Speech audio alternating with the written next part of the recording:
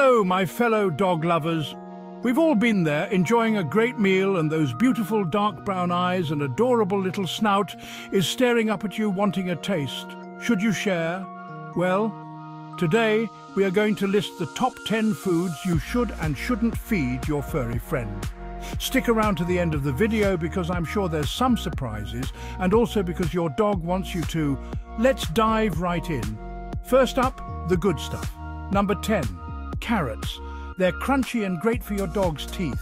Number 9, blueberries, plus they're low in calories. Number 8, pumpkin. Just make sure it's plain, not the sugary pie filling. Number 7, green beans. They make a great crunchy snack for your pup. Number 6, apples. Just remove the seeds and core. Number 5, plain cooked chicken. Just skip the seasoning.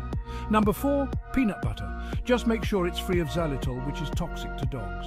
Number 3, cooked salmon. It's packed with omega-3 fatty acids. Number 2, sweet potatoes. They're a great source of fibre.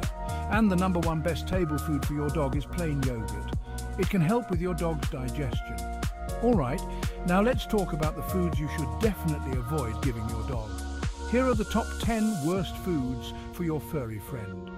Number 10, cherries. The pits, stems and leaves contain cyanide, which can disrupt cellular oxygen transport, leading to difficulty breathing and even death in severe cases. Number 9, onions and garlic. They can cause anemia in dogs. Number 8, grapes and raisins. Keep these far away from your pup. Number 7, avocado. It contains persin, which is toxic to dogs. Number 6, alcohol. It can cause severe intoxication, coma and even death. Number 5, coffee. The caffeine can be harmful to dogs. Number 4, macadamia nuts. They can cause weakness and vomiting. Number 3, xylitol. It's extremely toxic and can cause liver failure. Number 2, cooked bones. They can splinter and cause internal injuries. And the number one worst table food for your dog is chocolate, especially if it's mum's chocolate and it's that time of the month.